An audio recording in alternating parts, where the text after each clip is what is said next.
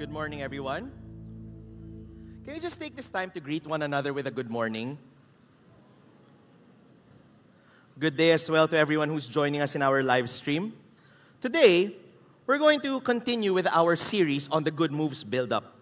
Over the past few weeks, we have discussed where and how we came across our idea of the good moves, where we began with a concept called Tov. Tov, which is the original design of God, which we can find from Genesis 1. From the first week, we talked about what the cruciform life was like and how we are supposed to learn how to live as living sacrifices. The week after that, we talked about the mission of God, what it feels like to live like that, how we, we're supposed to see it in action. We saw that through the life of David and Goliath. Now, the previous week, we talked about the relationships and how important they are when it comes to our life, and how God in his understanding, and Paul, in the way that he explained it, wants us to become bodies, uh, members of one body, which he calls the body of Christ.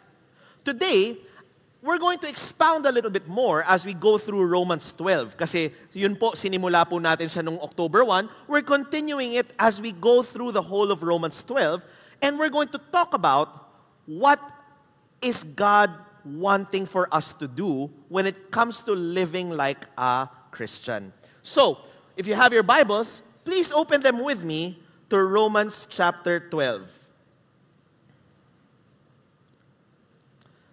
In Romans chapter 12, verse 9 to 13, we have here what Paul calls the marks of the true Christian.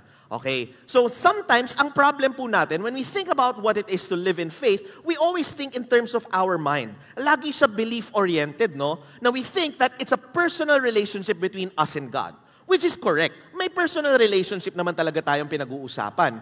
But at the same time, one of the pitfalls that we have when we talk about a personal relationship is that our relationship with God exists in the mind. Now, we're gonna talk a lot about relationship kasi yan ang isa sa mga mahirap na konsepto pag-usapan. Now, we live in a time where one of the most common things we say is, I love you. Diba? I love you. It's a very, very common refrain. Yet, when we think about the words, I love you, we're not really thinking about what it entails. Ano bang dala ng salitang I love you? Diba? Madali sabihin, mahirap panindigan. Agree ba kayo? Yeah, mga nag-agree, may hugot. Diba? But, we're going to talk about it deeper because in verse 9, sabi po, Let love be genuine. Hate what is evil. Hold fast to what is good. Love one another with mutual affection. Outdo one another in showing honor. Do not lag in zeal. Be ardent in spirit. Serve the Lord. Rejoice in hope. Be patient in suffering. Persevere in prayer. Contribute to the needs of the saints. Extend hospitality to strangers. Now, when we think and look at what's behind Romans, 9, uh, Romans 12, verse 9 to 13, we see that everything here that's talked about is something deeply practical. Na lahat ng bagay na to, when we look at what it is, hindi yung tipong yung tao tayo na nakalutang galing sa sahig. Minsan yun yung pakiramdam, no? yung parang hindi na tayo umaapak sa lupa. But when we look at how Paul describes what life is like, it's deeply connected to the ground. Let love be genuine, love one another, outdo one another, yung meron pang konsepto po palagi ng relationship. There's something deeply important here. What is it about relationships that we're supposed to pick up, what we're supposed to focus on? There's a book that was written by a pastor named John Mark Comer, and the book is called Loveology. Loveology, God, love, marriage, sex. And the never-ending story of male and female. Dito po, yung pastor, pinag-usapan niya where we're supposed to understand where love comes from and how we're supposed to live with it. And sabi niya, to understand where love comes from, we must talk about the story before the story. Sabi, niya, sabi po niya, the story of the Bible begins and ends with a wedding. In Genesis, we read about the first wedding of all time, Adam and Eve. And Revelation ends with the wedding of heaven and earth. Now, in fact, God officiates the first wedding and he speaks over Adam and Eve and says, That is why a man leaves his father and mother and is united to his wife. and they become one flesh. Now, sabi niya, maybe you're thinking, wait, what is why? Di ba? Sabi, that is why. Parang sinabi, that is why nag, we get into relationships. Eh, pero parang pag tinignan natin yun, walang background. What is why a man leaves his father and mother?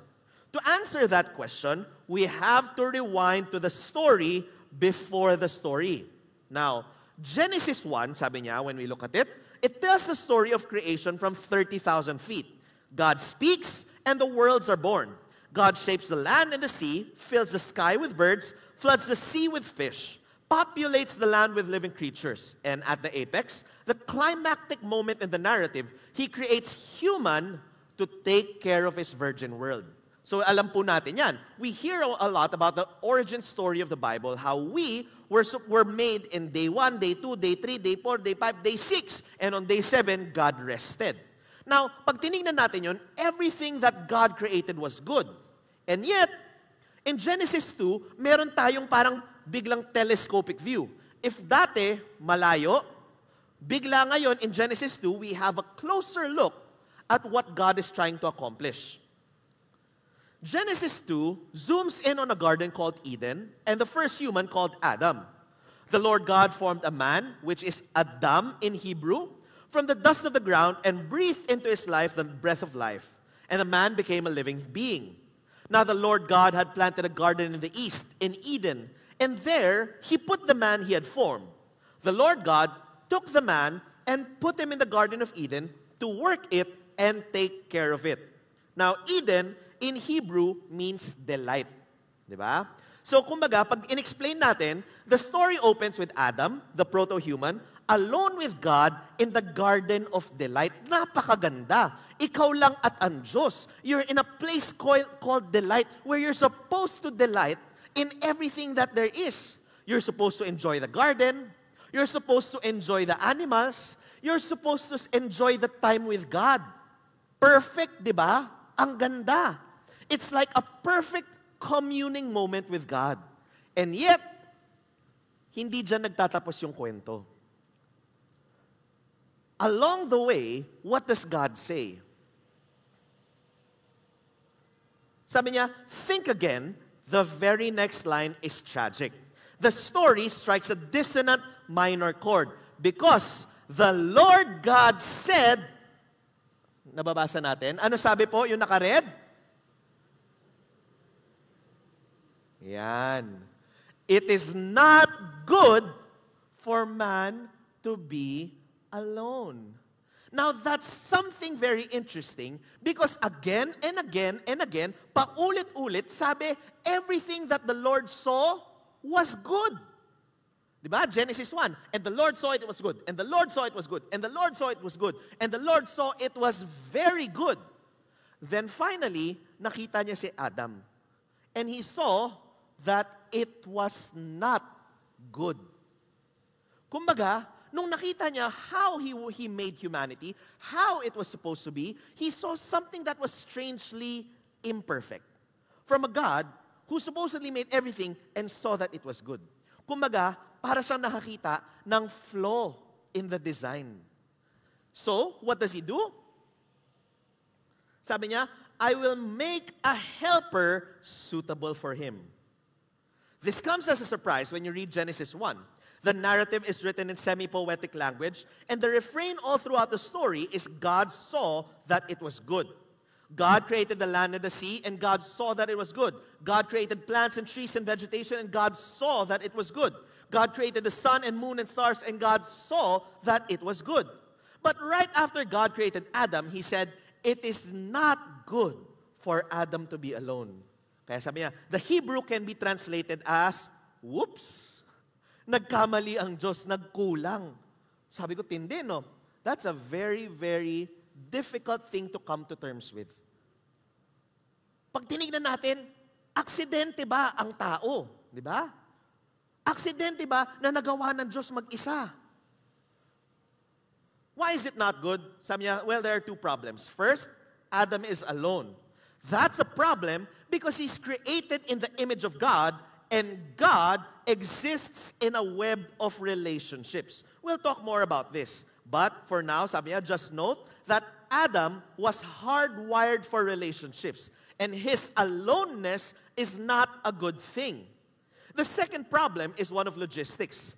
Adam is called to take care of the garden, but when you do the math, you figure out that the garden was the size of a continent. It's not a garden in the sense of a park. It's more like a national forest. Millions of square miles of wilderness, wild, untamed, and teeming with potentiality. It's way too much work for one man.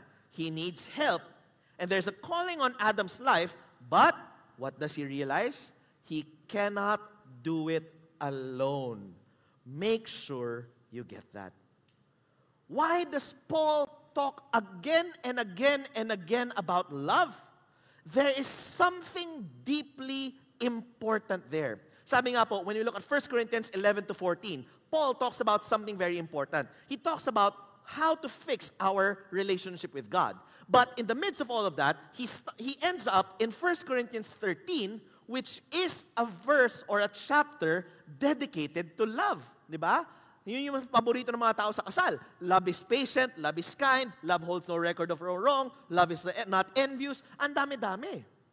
Why does he focus on something that it seems to be is not too important to us? Sabi nga po nila, pag tinignan natin, what do we want in life? They have found, sino po ba dito ang gusto niyo sa buhay ay magkapera? Yan, buti may mga honest. Kala ko walang honest dito eh. Di ba? Pagdating sa usapan, yun ang gusto natin. Shucks, kailangan ko magkapera. Eh di ba, na-discuss nga natin, what is the number? Yung merong particular number na pag maabot mo yun, generally masaya ka. So, siyempre, lahat ng tao gusto niyan. Sa ibang tao gusto nila pagkakilalan, pagkakilala. Di ba? So, fame. A lot of people want fame. Sabi nga po nila, kakaiba eh. Nung unang panahon, ang mga pang- pangarap daw ng tao, maging presidente, maging ano, maging uh, fireman, superhero, yung mga ganon. Alam niyo daw po nagbago, sa panahon na to, gusto na daw ng tao maging popular. So given the choice, do you want to be president of a school or the personal assistant of Justin Bieber?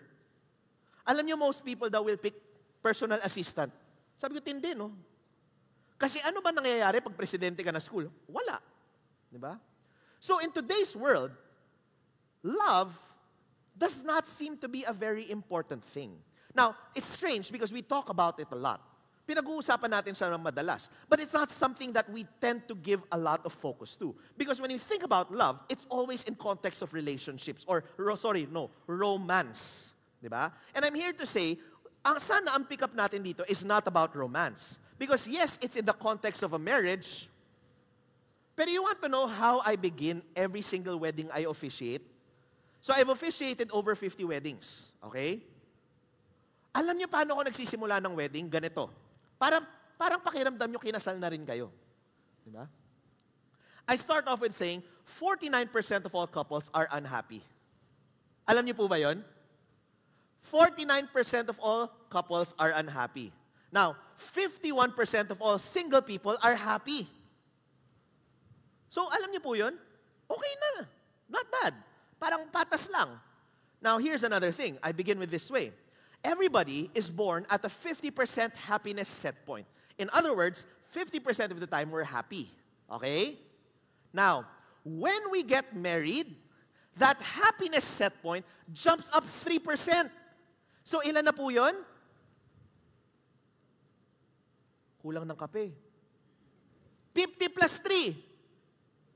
53%. So you become happier by 3% for two weeks. Two weeks lang. After nun, your happiness set point drops down by 5%. So ilan ang ending mo? 48. You end up less happy than when you started. Yung mamay asawa sabi, oo nga. Hindi, joke lang yon. Now, although that is true, Di ba? this is just simply statistics. And the problem of statistics is it does not look at people. When you look at people, you must understand that each person is different. If you're a number, walang nangyayari dyan. So when we look at big statistics, parang tama. If you get married, you end up with a worse life. However, when we look at people who did things right, did things right, okay? Yung tipong nag-asawa sila ng tamang paraan na pag pinag-usapan natin yan, how to pick the right partner, how to ano, aabot tayo ng apat na oras. Gusto nyo ba? Hindi, di ba? Yung mga tao dito parang, uh, meron na akong partner, ayoko na malaman na nagkamali ako. Yung mga ganong usapan. Di ba? So, for example, just two things. Number one, you must have at least a three-year relationship. Okay? Three-year relationship bago ka tumalon. Number two, you must have a friendship before your courtship. So dapat meron kang kapagkaibigan kasi romance fades but friendship does not. So may mga bagay-bagay na gano'n na kinakailangan i-consider when it comes to relationships. But when we look at the people who did things right, somewhere around 85% of all couples become happy. So kung tama ang ginawa mo, ang asawa ay blessing. Pero kung mali, ang asawa ay sumpa. Now, yung mga may asawa, tignan nyo na lang asawa ninyo at ipag-pray nyo na blessing siya. Di ba? Now, that's why it's not a matter of marriage. It's a matter of relationships. We must understand that God built us for relationship regardless of whether it's romantic, filial, or whatnot. Di ba? Kaya kinakailangan maintindihan natin why love is important. Now, to discuss this further, I'd like to go to another book. This book is written by Eric Barker and it is called Placed Well with Others. Sabi po, the surprising science behind why everything you know about relationships is mostly wrong. So ang ginawa po niya, inaral po niya yung iba't ibang mga sayisms like no man is an island, a friend in need is a friend indeed, yung mga ganong kasabihan, and inaral niya what is the truth behind each statement. So he goes, in his 1624 book, Devotions Upon Emergent Occasions, John Donne wrote, No man is an island. Okay? John Donne is a very well-known poet, so he didn't back up his statement with any proof. In other words, he wrote a five-word maxim that made him famous for centuries and left me to do all the heavy lifting. Kaya sabi niya, jerk. Anyway, plenty of classical thinkers have agreed with Donne. Aristotle wrote, man is by nature a social animal and felt that anyone who could exist alone was either a beast or a god. In chapter 2 of Genesis, you'll find, and the Lord God said, it is not good that the man should be alone. Throughout much of history, exile was one of the most terrible sentences, sometimes regarded as worse than death. Being a Lufus maximus was not a good thing in the ancient world, and not all that much has changed. Do you know what the United Nations calls solitary confinement in excess of 15 days? Torture. Grabe oh. Kung 15 days, lampas ng 15 days kang mag-isa, tawag pala nun under the United States Geneva Convention, torture. It's not something good. Kaya sabi niya, I'm not here to make the case for being a hermit. If we were really better off without, sorry, really better off completely without other people, this would be a very, very short book. But the irony is, increasingly, we're all acting like hermits. Sabi niya, increasingly, nagiging ermitanyo tayo. Now, does anyone know what a hermit looks like? Hermit. Hindi Kermit, ha? Makakala nyo yung palakayon sa Sesame Street. Hindi. A hermit. A hermit is someone who takes himself out of society and lives alone. So usually, yung nakikita natin, ito yung mga matatanda, na mahaba, sobra yung balbas, may tungkod, tapos marang may mahika, yung mga datingan, ermitanyo. Di ba? Now, here's something ironic. In the 21st century, a hermit does not look like that. Because once upon a time, hermiting meant to take yourself out of society. In fact, the word loneliness, did you know, did not exist before 1800. Before, when you are lonely, it simply meant you are solitary. Ibig sabihin nun, it is the time that you use to work on yourself. So pag naglalakad ka mag-isa, you're lonely. Hindi yan masamang bagay. When you're working by yourself, you're lonely. Hindi masamang bagay yan. But today, tignan nyo yung katabi ninyo. Mukha bang lonely yan? Grabe, ayaw nyo tignan, natatakot kayo ah. Hindi ba, today, the word lonely does not have good connotations. Meron niyang kanta, di ba? Lonely. I'm Mr. Lonely. Ano sabi? I have nobody. Hindi nyo alam? To call my own. Di ba may ganun pa? Huh? Kung ano-ano nangyayari.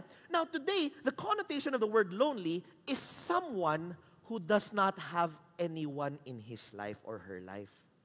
Once upon a time, to be lonely just meant you were working on yourself. And it's strange, it arrived at 1800 where the word lonely became something totally different. It now meant the state, the emotional state of feeling like you're alone. Now that's something strange because during the 1800s is what we call the age of enlightenment enlightenment. It began with someone called Rene Descartes who said, cogito ergo sum. Di ba? Ang ibig sabihin ng cogito ergo sum, I think, therefore, I am. The fact that I am a thinking being makes me a human being. That means I am an individual. By definition, individual means indivisible. Ibig sabihin, alone, take everything away, this is who I am. That was the birth of something called individualism. Now, taken from face value, walang problema ang individualism. Because individualism is what allowed us to pursue individual interests. Okay? Yan yung rason, but may mga tao, yung kanilang path sa buhay, hindi katulad ng path ng magulang nila. So for example, di ba? Once upon a time, if you were born as a farmer, you're probably, sorry, if you're born to farmers, you're probably gonna be a farmer. And your children are probably gonna be farmers. Wala kang upward mobility. Hindi magandang usapan. Today, it does not matter to whom you are born, ang buhay mo is dependent on yourself. Hindi ba magandang bagay yon? Na pwede kang makaangat? So from face value, hindi masama ang individualism. The problem is, we have entered into a time called hyper-individualism. Hyper-individualism.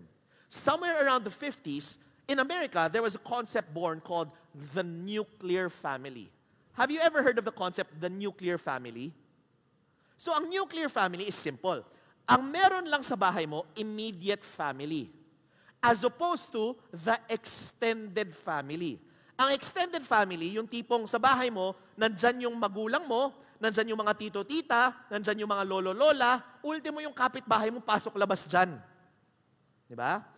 Yan ang tinatawag extended family. In the 1950s, the nuclear family was invented where the focus was really yung apat, dalawang magulang at dalawang anak. So that became like the staple. Hindi na konektado sa mga relatives. This was in 1950, which was how many years ago? Ha? Kaya natin to. 70 years ago. Today, the nuclear family is gone. Because from 1996 to 2006, something happened in society. We started living alone. Okay? we're in a place called Metro Manila. Now, before we think that this is an American problem, this is a 21st century problem. When I say we're in, the, in Metro Manila, there's a reason why it's called Metro Manila. Di ba? Kasi ang dami, siyang, dami niyang mga syudad na pinagsama-sama to form what is called the metro, the metropolitan. The place where all the action happens. Di ba? Now, because this is the place where all the action happens, it follows that people will go where the job opportunities are. Hindi po ba? Siyempre, kung gusto mo makipagsapalaran, alam mo makipagsapalaran ka dun sa, alam mo yun, sa tupada dun sa kung saan mang kanto, di ba? You want to be in the big rig. You want to be where all the action is happening. Now, what that has created is, hindi po ba, a lot of us were not really born and raised Manileños. A lot of us came from provinces. Na lumipat tayo sa Metro Manila simply because Metro Manila carried all of the opportunities. That's why the population of Metro Manila exploded to about 20 million. At least yun yung last na ano ko. Kanina po, sabi po nila, the more conservative numbers is about 14 million. Ang problema ng 14 million, hindi natin bilang yung mga hindi nagpaparehistro. Di ba? So they say the number is at about 20 million in the whole of Metro Manila. Now, 20 million people. In the 20 million people, yun bang mga 20 million magkakakilala? Ha? Hindi, di ba? Most of, more often than not, we're not, you know, friendly with one another. In fact, maglakad kayo sa kalye, daan kayo sa Quiapo, paglakad nyo ng Quiapo, may nagsabi sa inyo, Hello! Anong gagawin nyo? Di ba? Di ba? Lalayo ka dun sa tao na yun, baka mamaya may masamang balak. Alam natin yan eh. Sa mga tao nagko-commute, di ba, yung masyadong friendly, ano to? Nang di-distract para yung kasama niya, manakawan ako. Di ba? Pansinin niyo po, we're in a place with 20 million people, but we don't care about one another. In fact, for many of us, yung circle natin does not extend further than about five people. Sa totoo lang, ilan po sa atin, meron po tayong nalalapitang tao para kwentuhin ang buong buhay natin. Meron, meron? Yan, meron. Yung iba, mas komportable mag-share sa mga anonymous na tao online. That's why if you know, one of the places where a lot of sharing happens is actually not Instagram or Facebook, it's actually Reddit. Diba? Reddit, which is a place where it has subservers where people are completely anonymous and they can tell their problems to other people. And other people who don't know you might be able to offer advice. Now, pag tinignan natin yun, maganda ba yun? Sa isang banda, maganda yun sa mga taong walang tao, walang mga minamahal sa buhay or walang malapitan. However, when you listen to that, is that really what we're supposed to be doing? When we're in need, sino ang lalapitan natin? When we are, you know, we need some help, where do we go? Alam naman we go to the internet at sabihin natin, nagmamala, lang po, nagpapakumbaba, nagpapatulong. Once upon a time, we would go to our family. But the family unit has been destroyed. Once upon a time, we would go to our neighbors. But the neighborhood has been destroyed. In the 21st century, loneliness has become an epidemic. Okay? Now, sabi po niya, Social scientist Bella De Paulo writes, Never before in history have so many people lived alone. Now, sabi po niya, unlike solitary confinement, we've been deliberately choosing this. Before World War II, it wasn't all that economically feasible to live alone. But as we've gotten richer, understandably, we wanted more freedom and control.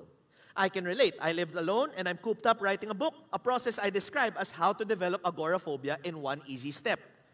Sabi niya, we love autonomy, but some suggest this is what's making us lonely. What's making us lonely is the fact that we like being alone. We are lonely. Even before the 2020 pandemic, 75% of UK doctors said they saw patients every day whose main complaint was loneliness. In 2017, the problem got so bad with more than 9 million lonely Britons that the country appointed a minister of loneliness. And the number of people in the United States who report being lonely stands, according to one study, at around 62 million people. Grabe, no? Lampas kalahating Pilipinas ang lonely. That's the entire population of the United Kingdom.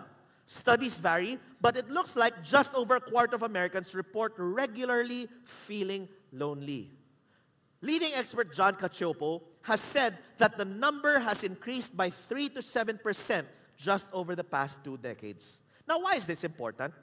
The health and happiness effects of sustained loneliness on your body is, to use a technical term, poop your pants scary.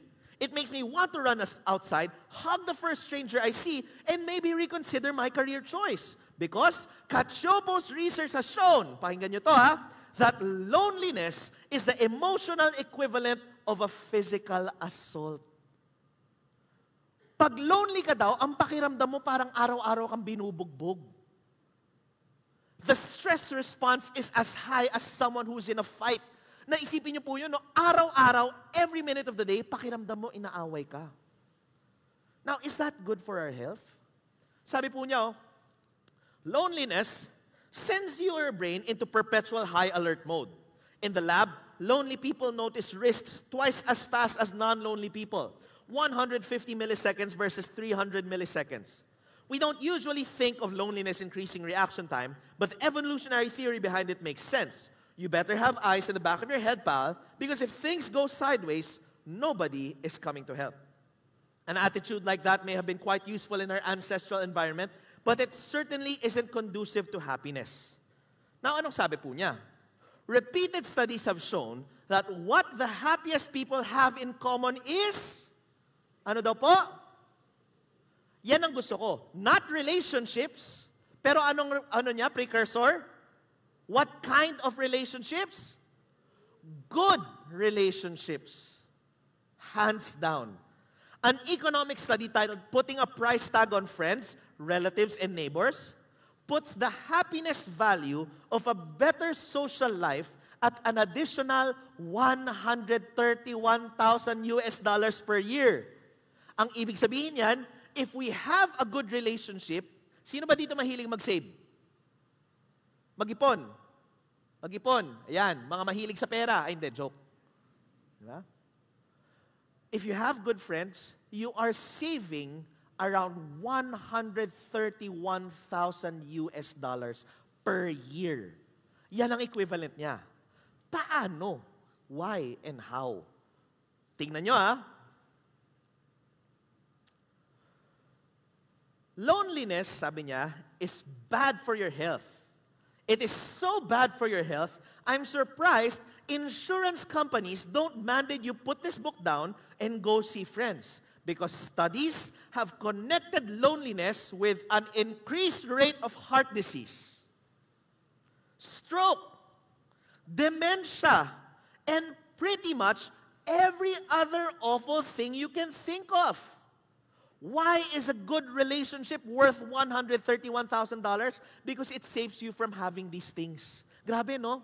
Naisipin niyo po lang, no? Pag pumunta kayo sa ospital para magpagamot, how much are you gonna spend if you have, let's say, a heart attack? How much are you gonna spend if you have, let's say, a stroke in recovery? Di ba po? Yung mga bagay na to. Yun pala, yung mga bagay na to are directly related to something called chronic degenerative disease. Chronic degenerative disease. By definition, chronic, ibig sabihin mabilis o matagal? Matagal. Degenerative, ibig sabihin mabuti o masama? Masama. Disease. Chronic degenerative disease.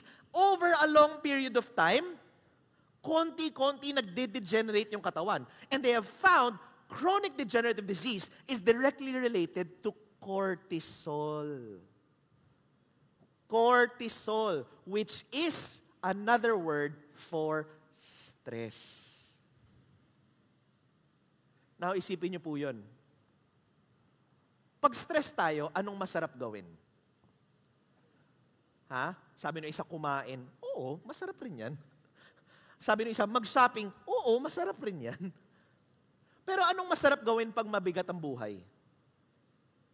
May makausap, di ba? You know why? That's called completing the stress cycle.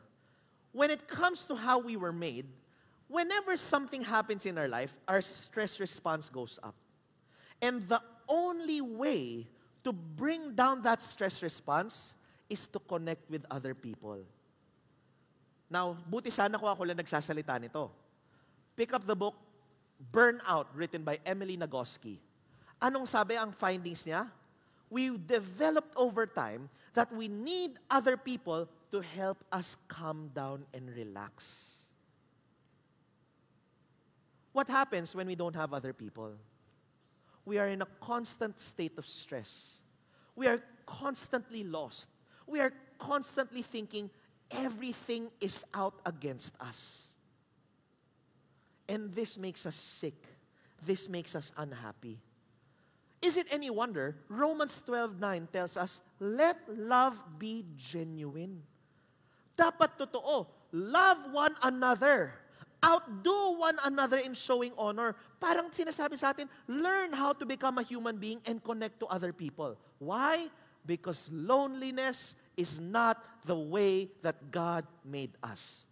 Genesis 2, paulit-ulit ko sasabihin, it is not good. Isa lang ang nakita ng Diyos na not good. Ano po? That man is alone. Now, we have to take stock. Kasi po, if this is us, we, we know that it, God made us to love, to outdo one another in showing honor, being hospitable, extending kindness, knowing how to treat one another correctly. Maybe for some of us, we find, baka, bakit kaya ganon? Wala akong taong malapitan. Wala akong taong makausap. Wala akong taong kaya kong sabihin na, ito, I have a good relationship with this person. Maybe, this is a time for us to check our social fitness. Now, that's something that I introduced a few weeks ago and I said I will be talking about over the next two weeks. And social fitness is something that a lot of us don't think about because sanay tayo sa physical fitness. Di ba? Now, every year, hindi po ba nagkakaroon tayo ng physical? Ano ang physical? Ha? Yung clearance, di ba? Ba't tayo pini-physical test? To see if we are still compatible with life. Kasi baka mamaya, may problema na yung katawan natin na hindi natin alam at mamaya at mamaya, tumumba na lang tayo patay. Now, if there is a physical test, there must be a social test. Because we have spent too long not prioritizing our relationships. In the book, The Good Life, written by Robert Waldinger and Mark Schultz, pakita ko lang po.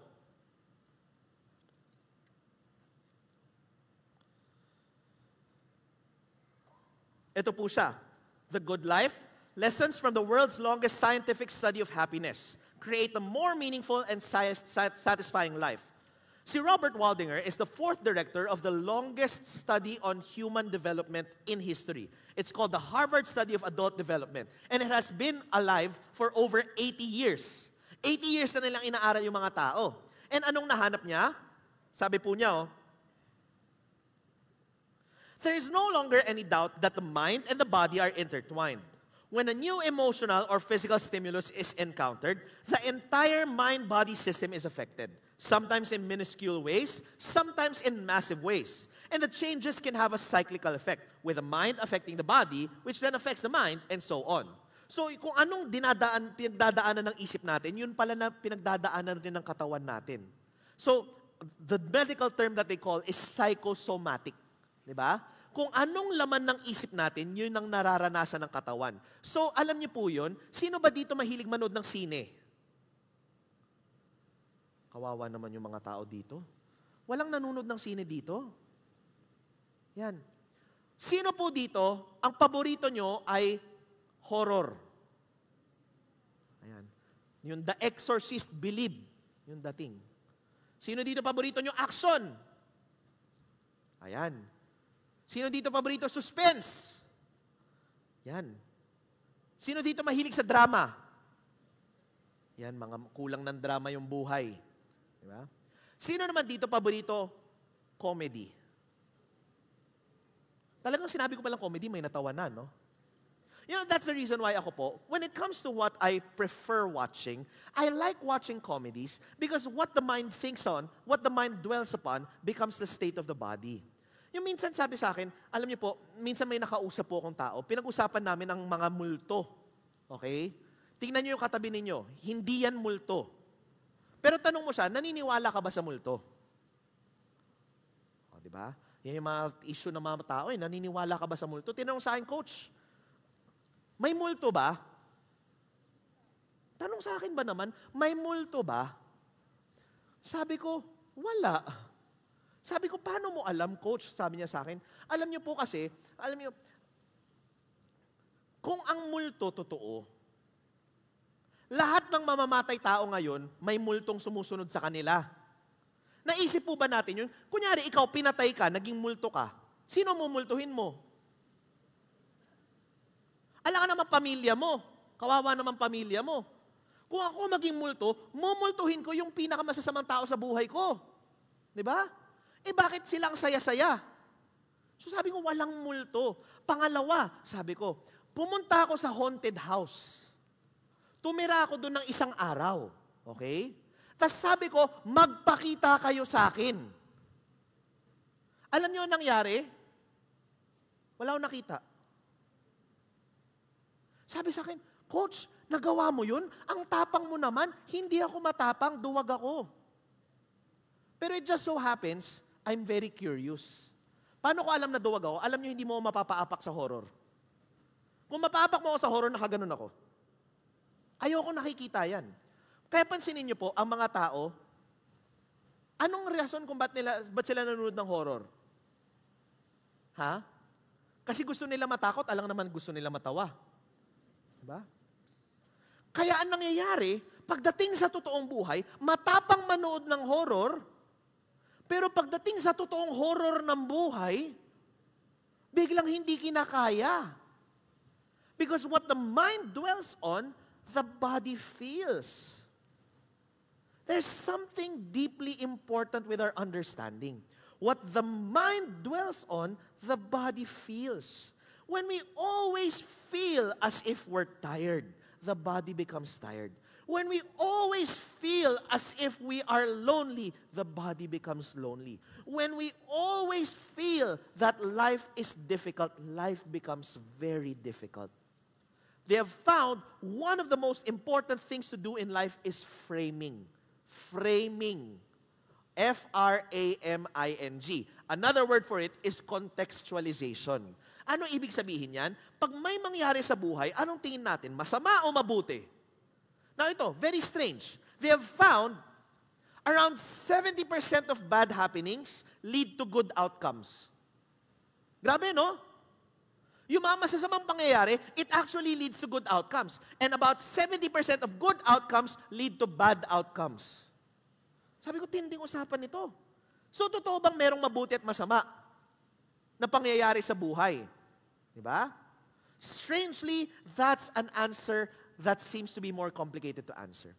There's a TED Talk, one of the most famous TED Talks of all time. Sabi niya, what is the one gift that she's happy to have survived? Tindi, no? Ang regalo gusto natin usually masaya. Parating na ang Pasko. Ito ng panahon ng mga exchange gift. Dadami na naman ang mga socks natin. Di ba? Usually, when we think about gifts, we think that they need to be good. Now, sabi niya, the one gift I'm thankful I survived. She's a woman who comes from a very dysfunctional family. Her family ended up going, you know, everywhere. Siya, she lived in a particular place, yung magulang niya lives in another place, yung mga kapatid niya lives in other places, and they probably talk to each other once every two years or so. The usual American lifestyle. Because America is special compared to other countries because America is the only place where you can uproot yourself and transfer. Sabi nga po eh, it's a group of 50 states. Technically, it's 50 countries you can change in. Kaya mapapansin natin, watak-watak ang mga tao sa Amerika. Disjointed. Sa Pilipinas, mahirap gawin po yun. Mahirap lumipat ng basta-basta. Kasi unang-una, kunyari, Manilenyo ka, lumipat ka sa Cebu, kinakailangan matuto ka muna magsalita ng Cebuano. Hindi ganun kadali. Gusto mo lumipat sa Bicol, depende pa, san ka? Totoong Bicolano ba yung salita o Bisakol? Di ba? Ang hirap maintindihan. Lumipat ka ng Pangasinan, naku po, mahirap na usapan na naman. Everywhere we go, it there is a hurdle. Whereas in America, there is a common language, a common uh, monetary value, and a common understanding. So para kang lumilipat in 50 states, iba't iba. Iba't ibang bansa. Pwede kang lumipat anytime may problema buhay mo. So yan ang naging buhay nitong babae na to. Nagkawatak-watak ang buhay niya. So one day, she makes a wish. Sabi niya, I wish my family would come back. Magsasama-sama uli.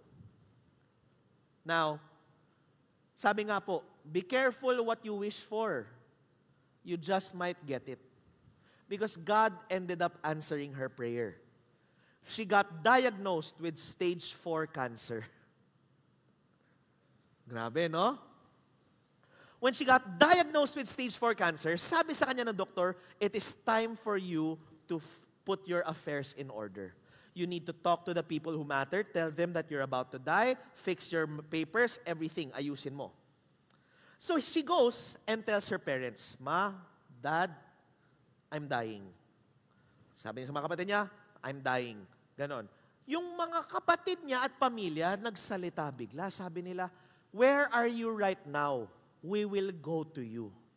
Yung pamilya niya na watak-watak, biglaan nagsama-sama. Nung nagsama-sama, mamaya, nag-usap-usap sila, naalala mo yung mga panahon na ganito, naalala mo yung mga panahon na ganito, naalala mo yung mga ganito, sabi nila, ba't ba natigil yun lahat? Ah, kasi nag-away tayo sa ganito, nag-away tayo sa ganon. Di ba na magganon ganito, bla bla bla bla bla. Sabi nila bigla, ngayon na namamatay na ako, sabi niya, parang walang kwenta, no? Ba't ba tayo nag-away-away? Ba't ba tayo naghiwalay-hiwa-hiwalay? Kaya, nagkaayusan sila bilang pamilya. Stage 4 cancer, she was about to die. Eh, nagkamilagro. Gumaling siya. Nung gumaling siya, nagkawatak-watak. Hindi, joke lang. What was fixed during that time remained fixed. So sabi niya, it is the one gift that she was so thankful that she survived. Alam niyo po, yun yun eh. Yung we have to think, what are we doing here? What are the things that really matter? We think that things that don't matter actually matter. Pero yung sa totoo lang, when we come to the end of our lives, what is one thing that we want to be able to say? That the people who mattered, I took care of. Diba? Ngayon,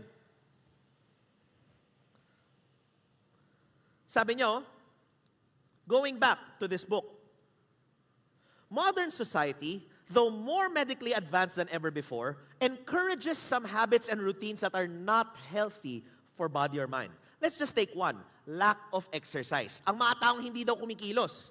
50,000 years ago, a Homo sapiens living in a river settlement with her tribe would have gotten the physical exercise she needed simply through the effort of staying alive. Now, vast numbers of people are able to provide food, shelter, and safety for themselves with little or no exercise. Never before has so much human life taken place in a seated position, and a great deal of the physical work we do is repetitive and potentially damaging.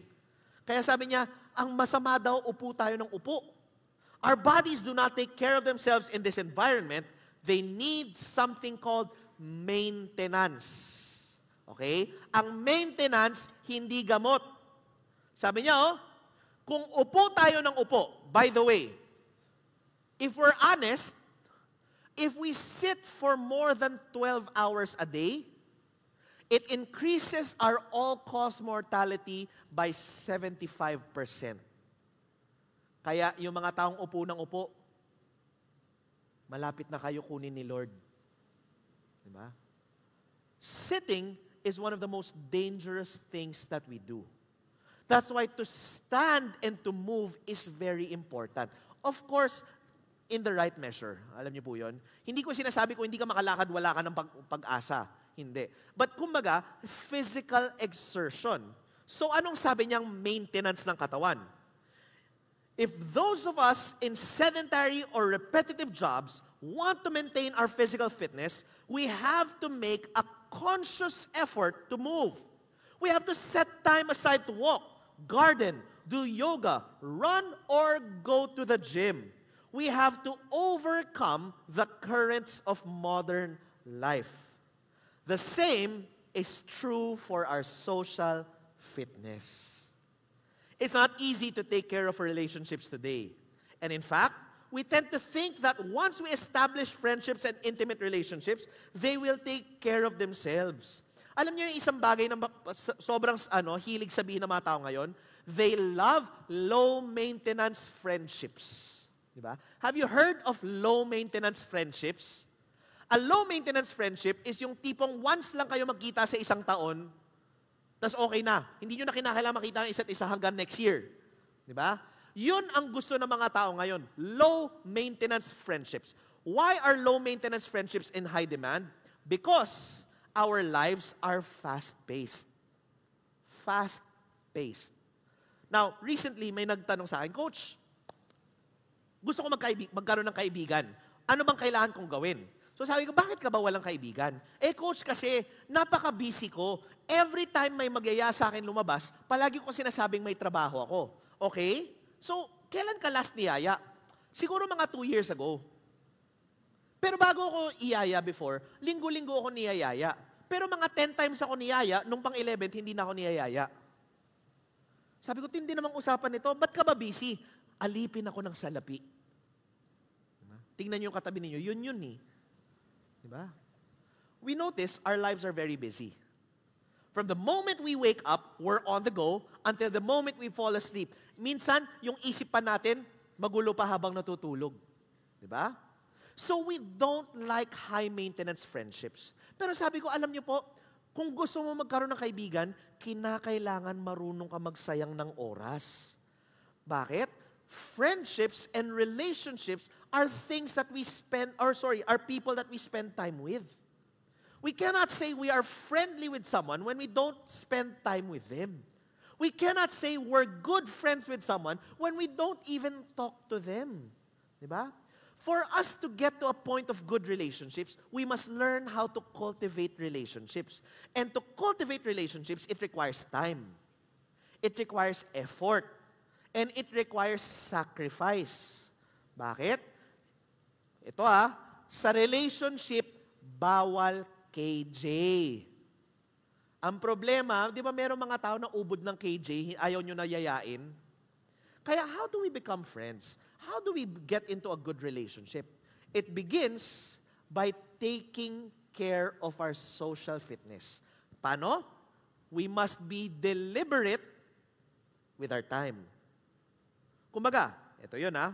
You want to have a simple rule, or you want to have a good real- realization, ito lang. If you're 40 years old, think about someone that you love very much. Okay?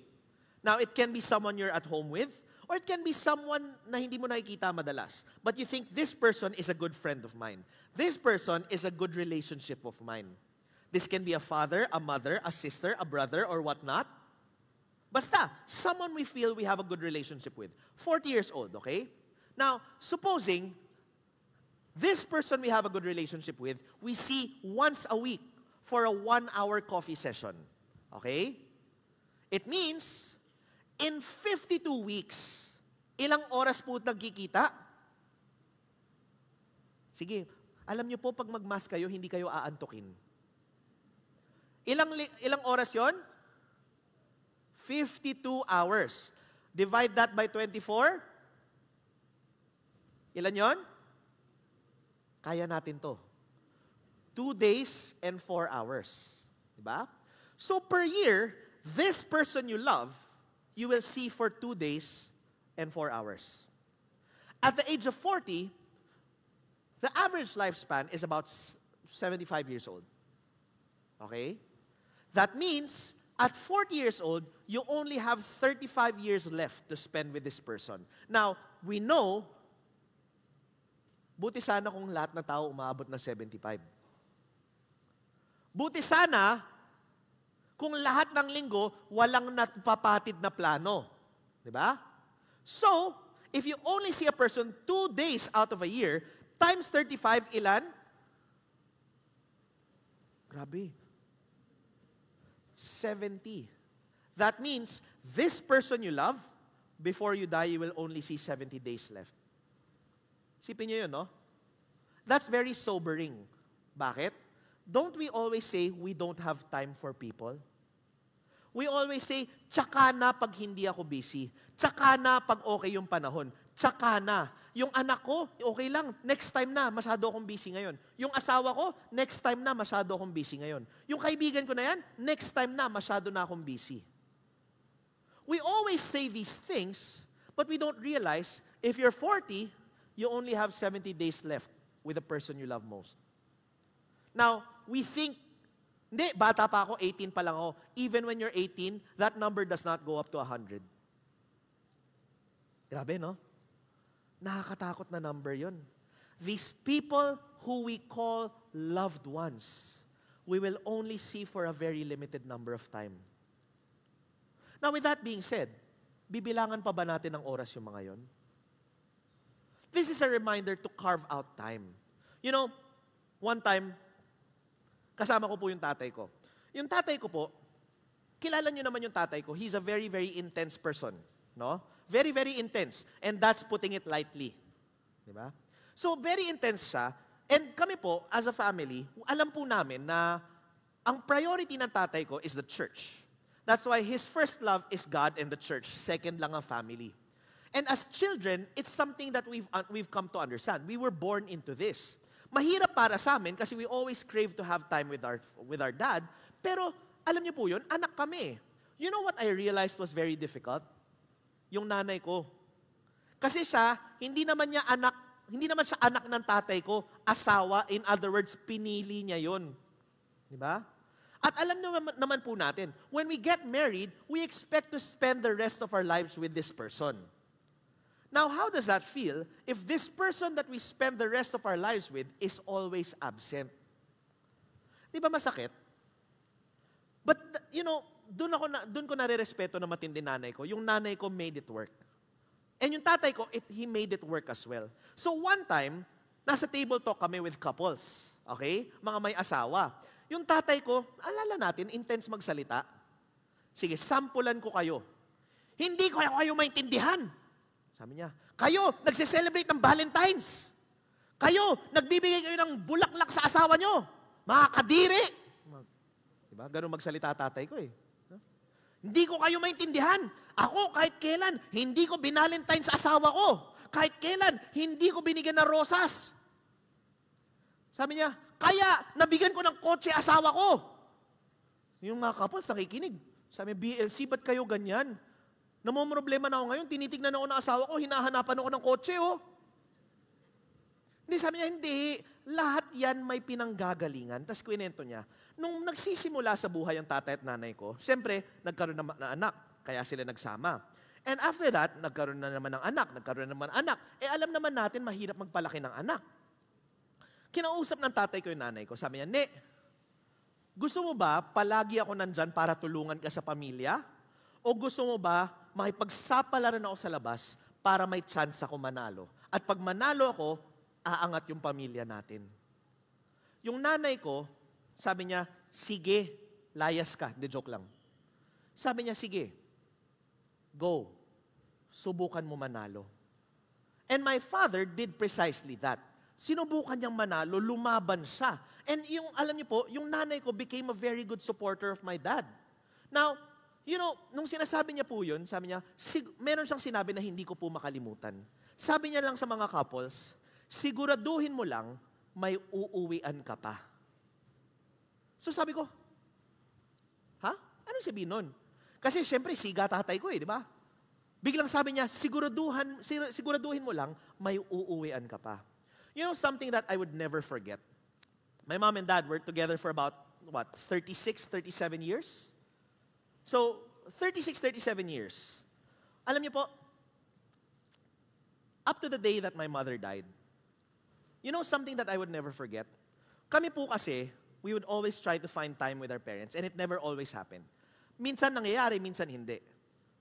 But I would always see, pag Monday, yung tatay at nanay ko bigla magpapaalam, sige, bye-bye, lalabas kami, sasabihin namin, pwede kami sumama? No. Diba? No. Eh kami parang, ha, hindi ka na nga namin nakikita, bawal pa kami sumama. Sabi niya, no, hindi, kami lang to. Tsaka na, Saturday kayo, sa Monday kami lang ng nanay mo. And they would go out, mawawala sila buong gabi, tas uuwi na lang ng, ano, ng gabi. At I would always see, masaya sila after. You know what I realized they were doing when I grew up? Kaya pala hindi pa kami pwede sumama? Ano kaya ginagawa nila? Kinukulam kami? For 36 years, they would never fail to date every single week. Noong nakita ko yun, alam mo, nakita ko yung soft side ng tatay ko eh. Nakita ko na pwede palang ganun. Because sometimes, di ba, when we get married, what happens is the romance dies. Kasi we take people for granted. We take, ah hindi, okay na, asawa ko na to, palagi ko nakasama eh. Di ba? We take our children for granted. Ah, hindi, okay lang, palagi ko nakasama yan eh. You know what I saw with my father? He would always try to spend time with my mother. For 36 years of marriage. Ito yung hindi ligawan to, ah, mag-asawa na. They would never fail to date every single week. Kaya pala sabi ng tatay ko, siguraduhin mo lang, may uuwian ka pa. My father understood what maintenance was like. Minsan yun yung problema po natin eh. We forget, we must maintain our social fitness as well. Maybe for some of us, we need to remember there are people that we love in our lives that we don't spend enough time with. When that's the case, maybe we should start asking, Uy, free ka ba? Kung hindi, okay, kailan ka free? Schedule na natin yan. We only have a set number of days left. Konti na lang ang panahon natin kasama mga taong minamahal natin. Let's not forget, don't take them for granted. That's the reason why when we look at it, God designed us to have a very practical understanding of love and relationships. In the book, I Am a Follower, written by Leonard Sweet, he talks about this. Kaya sabi niya, the two worst things you can do in life, first, is to refuse to love, and the second is to refuse to be loved. Yan daw ang pinakamalala. Why? Because the mystery of love is at the heart of first followership. Thomas Aquinas maintained that there are only two credibilia or things that must be believed in the Christian faith. They are first, that God exists, and that the second, we are loved in Jesus Christ. Jesus himself said that who loves me will be loved by my Father, and I too will love them and show myself to them. Herbert McCabe put it like this The whole of our faith is the belief that God loves us. I mean, there isn't anything else. Anything else we say we believe is just a way of saying that God loves us. Any proposition, any article of faith is only an expression of faith if it is a way of saying that God loves us. Jesus expects his followers to learn to live in his love. That means first followers will be genuinely loving people. Notice I didn't say likable, but loving. There's a difference between giddy kiddy love and Jesus love. These are not just ethereal words or empty suggestions. When John wrote, Let us not love in word or talk, but in deed and in truth, he was saying, Don't just talk a good game. Get out there and do what you say. Live the love that abases itself and exalts the beloved. Live the hard love that reaches out to humanity, that leeches the love out of life. And in fact, he introduces a word. This is how we should love daw po. In Italian, there's a word called sbigotito. Sbigotito. S-B-I-G-O-T-T-I-T-O. So, sbigotito. Kaya nyo ba sabihin? Ayan. Hindi sbigotita. Okay? Sbigotito. Hindi po siya ma-translate in English because it implies being unnerved by love. It entails the shock of being amazed by one's lover to the point of being unable to act. In a world of studied indifference, first followers live in a constant state of bigotito, dumbfounded, amazed, and awestruck at the shock of Christ's love. Love always seems to be fighting a losing battle in this world, but at the last moment, when all hope is gone, love works its magic and does the most amazing things. Bigotito. We are called not just to love. We're called to be bigotito. Ito yung pakiramdam na yung tipong pag may nangyari sa'yo, when someone does something so loving, you have no choice but to say, wow, paano nangyari yun? Ten years ago, there was a race in Spain. It was a cross-country race, and it was syempre takbo, no? It was a very, very long distance. Now, in that race, there was a man named Abel Mutai, who is an African, itim. And we know that the Africans dominate, dominate endurance sports. Sobrang gagaling nila. So, si Abel Mutai was leading the whole pack. When he reaches the finish line, suddenly, about 30 meters away from the finish, finish line, he stops. Tumigil habang tumatakbo, biglang tumigil. Because it was in Spain, so all the ano, all the signs were in Spanish. Eh dahil African siya, he did not understand Spanish. He thought he crossed the finish line. So isipin nyo, no? Kita nyo ang tao, tumatakbo, talo niya lahat ng tao, tumigil 30 meters before the finish line. And as he goes there, he stops and takes a rest kasi akala niya tapos na. Behind him, about 400 meters away, was Ivan Fernandez Anaya, a Spaniard, hometown, hometown, hometown talent. Nakita niya, tumigil yung tao. Now, si Ivan Fernandez Anaya is a long-time endurance sport athlete. The problem is, he never seems to be able to take the top spot. Palagi lang siya top 2, top 3. At dahil doon, hindi po siya kinukuha ng Spanish national team to represent them in the Olympics. Sabi sa kanya, if you win gold in this competition, we will get you for the Olympics. Eh, ang sportsman, that's the ultimate goal. The ultimate goal is to represent your country in the Olympic Games. Now, nakita niya, talo siya ni Abel Mutay, 400 meters away, pero nakita niya tumigil. Now, sabi nga po nila, no, What is the goal of sport? Ha? Siyempre, to win. Alam ka naman, sumali ka para matalo. Ano ka? Participation award? Diba? The goal of sport is to win. However, is it to win at all costs? Is it just so that you can bring a gold medal home? Si Ivan Fernandez Anaya, sabi nga eh, in those split-second decisions, you see what the person is made of. Sees Abel Mutay, nakita niya may chance siya manalo.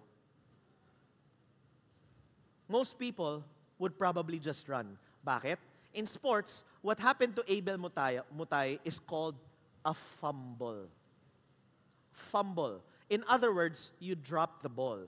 Pag basketball, di ba, yun yung mga tipong tao na on the line yung buong laro. Meron kang chance mag-score. Pag tira mo, nagmintis, fumble. Meron kang chance itay, sinipa mo yung bola. Yung bola, imbis na pumunta sa net, umakyat, nawala, fumble. It's part of sports. People accept that certain people fumble. So what Abel Mutay did was a fumble. By all accounts, Ivan Fernandez should have run straight. Panalo na. Olympics sana ang ending niya. You know what Ivan Fernandez did? Allow me to show you. Because this picture became viral. Ayan po. Ivan Fernandez ended up pushing Abel Mutay and pointing where the finish line was. He started pushing Abel Mutay, brought him to the end, and finally, clapped for the person. So yung mga tao nagtaka, ha? Ba't mo ginawa yun? Sira ulo ka ba? Don't you know what's at stake? Don't you know that if you win, you're part of the national team? Don't you know if you win, you will be well known? Si Ivan Fernandez, walang pake. Tinulak niya. So tinanong siya, bakit mo ginawa yon? Sabi po niya, My dream is that someday we can have a kind of community life, he answered simply. But when pressed and reminded he was seconds away from winning the race himself, he told the journalist, What would then be the merit of my victory? And what would be the honor of my medal? Ang final statement niya, kung nanalo ako na alam kong may ibang deserving, ano sabi niya? What would my mom think of that. Magiging proud ba mama ko dyan? You know, when that happened, everyone started talking about him. By the way, Ivan Fernandez never represented Spain. He never got his chance to represent Spain. But when you ask him, masaya ka ba? Alam niyo, nahanap niya, masaya siya. Life is strange. When we see something like that, we stop and think, bakit? Paano yun nangyari? Ba't mo ginawa yan? Yan po ang sbigotito. That is the kind of love that makes you wonder, is this what it's supposed to be? You see, that's what we're called to do. We're called to display a kind of love that makes other people think, is this what it's supposed to be? Because in the end, love exists because God never meant for us to just end up being loved. He decided He wanted to make us the instruments of His love. Understanding what love is, but next, learning that we are blessings, or, or sorry, instruments of blessing. Hindi ko na po babasahin since we don't have time. But Robel talks about Genesis 12. In Genesis 12, Abraham was called by God and sabi, I will bless you and through you, you will be a blessing to all nations. The interesting part about Genesis 12 is the understanding that Abraham was blessed not because he was special. He was blessed because God ended up wanting to use him to bless other people. That's the direction that God wants us to take. When we are loved, it makes us understand that love is better shared. And when we share love, it is a chance for us to make this world better. We are meant to be instruments of God's blessing. And when we forget that, the church ends up losing. Because the church is at its best when we are serving others. That's why I'd like to introduce a concept. There was a friend who talked, who talked to me about a concept in Spain that I like very much. Kasi tayo, we're a Spanish, we're, sorry, we're a Spanish colony, and there are many things that we picked up in Spain. Okay? One of the things na ayaw, ayaw, ayaw na ayaw ko na pulot natin sa Spain is called siesta. Di ba? Anong siesta? Yung tipong pagkatapos mo kumain, hayahay muna tayo tulog. Di ba? Napulot natin yan sa Spain. Kaya after lunch, usually tatlong oras walang trabaho sa Spain. Di ba? So sa Pilipinas, napulot rin natin yan na pagkatapos kumain, dapat humayahay. I don't particularly like it. But there's a concept in Spain called sobremesa. Okay? Sobremesa. Sobre meaning beyond. Mesa meaning Di nyo alam? Table. Beyond the table. Now, the concept of sobremesa goes this way. Supposing I have a friend. I'll invite this friend to lunch. Okay? At lunch, kakain kami. Usually, how long is a good lunch time? Ha? One hour. So one hour, usually, nakakain ka na, marami ka nang napag-usapan. Kasi let's face it, yung ibang tao, 10 seconds lang kumain. Di ba? So marami ka na napag-usapan. Now, in sobremesa, the goal is not to eat for an hour. The goal is to eat until you're finished. Now, ano yung sabihin ng finished? Finish ka na. Di ba? Tapos ang usapan. Bakit? I invite you to lunch we eat lunch. And during the course of our conversation, natuwa tayo. We talk about everything. We find itself such a good day, such a good opportunity to talk with one another. So after lunch, sasabihin ko, do you want dessert? So magde-dessert. So syempre, maglalabas ng dessert. Pagkatapos magkumain ng dessert, magkikwentuhan na naman, bla bla bla bla bla bla bla bla. Mamaya, isang oras na lumipas. So sabi mo, ay, gusto mo ba ng kape? Kasi nakakaantok yung dessert, no? So mamaya, bibigyan ka ng kape. Iinom ka ng kape. Tapos sasabihin, ay, gusto mo ng konting kasama para sa kape? So bibigyan ka ng biskwit. Mamaya, isang oras na naman lumipas. Sasabihin sa'yo, ay, malapit na maghapunan.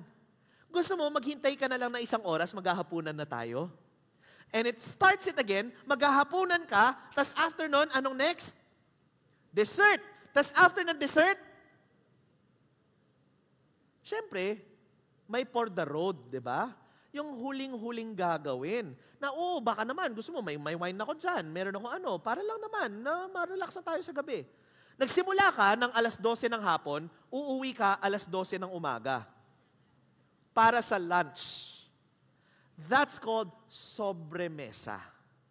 Okay? Now, did you know that in the Philippines, meron din po tayong ganyan?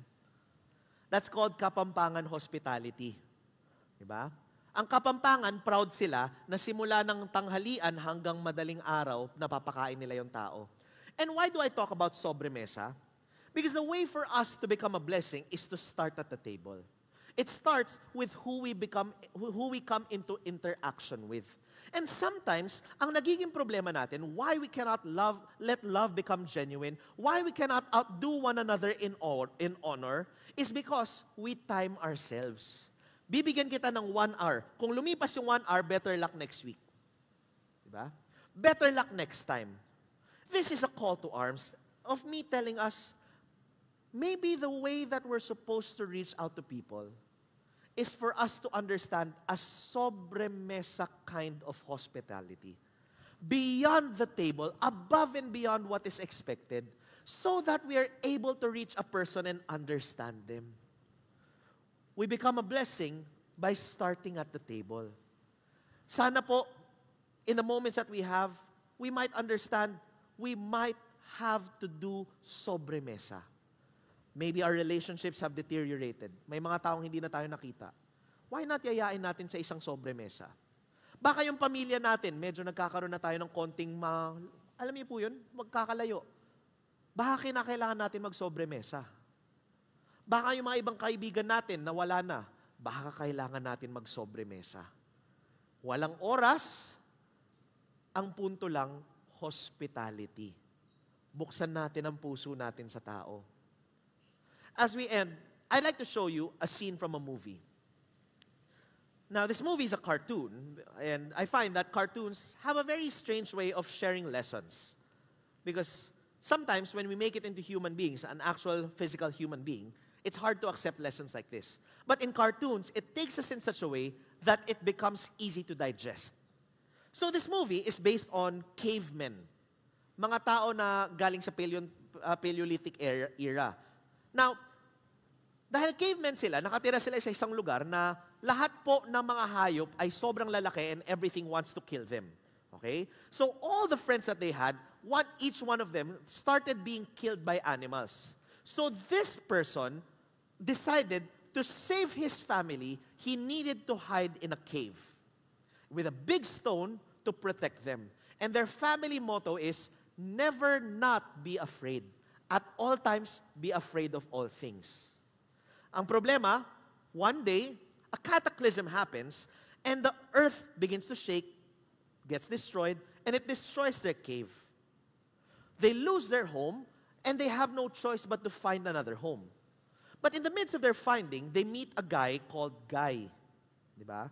who has strange ideas, who wants to go to a place called tomorrow, where all the stars and all the suns live, and where there is hope. And strangely, this place called tomorrow is at a mountain.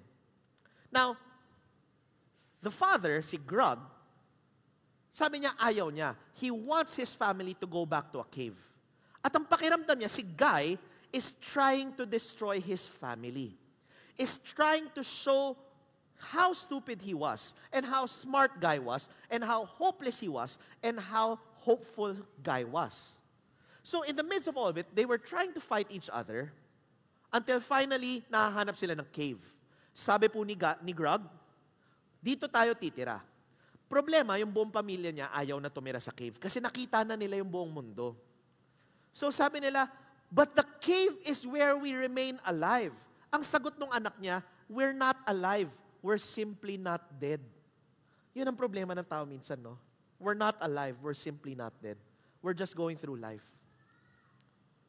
So dahil nag-mutiny yung buong pamilya niya against him, si Greg, si Grug, ended up attacking Guy and wanted to kill him. When he tried to attack Guy, they fall into a tar pit. And in this tar pit, lahat ng nalalaglag doon namamatay. Gusto ko lang po ipakita ano yung nangyari sa interaction nila. Can you please have this scene from the Crudes? You know what's so interesting about that?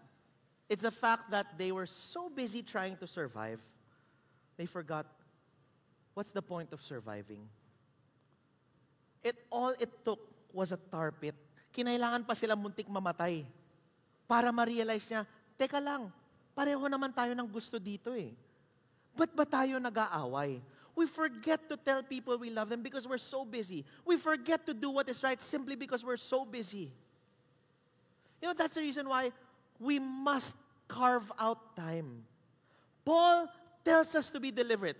deliberate. Let love be genuine. Love one another. Outdo one another in showing honor. We must be deliberate because we're always too busy. And when we're too busy, we will never understand how to take care of the relationships we have. Don't forget, Genesis 2 said, God said, it is not good for man to be alone. Out of everything that God did, everything was good. Only one thing was not good for man to be alone. What's the solution? Learn how to love and learn how to be a blessing. Tayo po lahat ay tumayo as we end in prayer.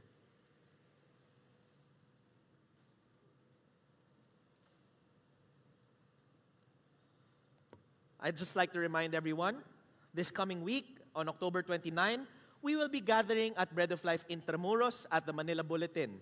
It's going to still be 7.30 a.m. and 11 a.m. because we're going to make way for the Kalis Games, which is a, a chance for us to host over 20 countries and show them what Filipino hospitality can be.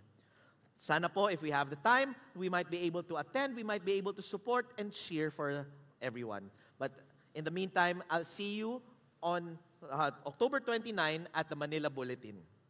Let's end in prayer. Father in heaven, we thank you for this day. We thank you for an opportunity for us to come together, O Lord God. For we know, O Lord God, it is no accident that you brought us here at this time. Father, as we learn together, continue to teach us, O Lord God, that what we hear might become what we live. For Father, we know that sometimes in our busy times, we forget what it means to love. We forget that you said it is not good for us to be alone. So, Father, O Lord God, teach us how to be not alone. Teach us how to be with one another.